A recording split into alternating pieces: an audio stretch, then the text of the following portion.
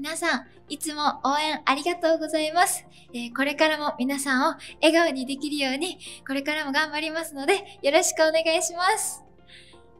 またね